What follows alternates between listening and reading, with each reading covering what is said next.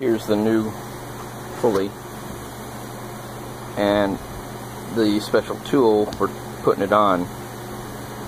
And you can see that the pulley and the center of the pulley are locked.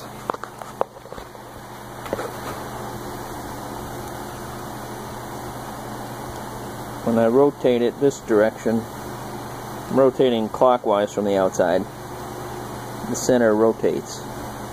When I go the other way, you got to take my word for it, it won't go. Try to go counterclockwise, and the outer pulley engages the inner. There's clockwise, here's counterclockwise.